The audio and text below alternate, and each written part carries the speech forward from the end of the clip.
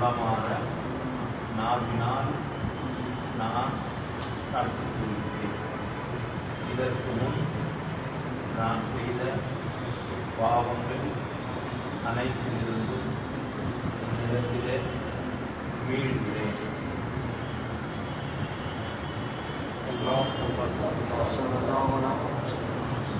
இப்போ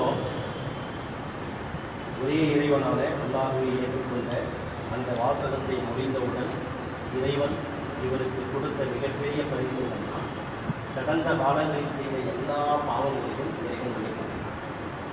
அன்று பிறந்த குழந்தையை போன்ற பாவமற்றவனாக இப்பொழுது இறைவன் தன்னுடைய பதிவுகளை பதிவு செய்கிறார் சகோதரனுடைய குரல் என்ற அந்த பெயர் காலப்போக்கில் நாம் அதன் கலந்து ஆலோசித்து ஒரு சிறந்த பெயரை இறைவன் தீர்மானித்து தருவார்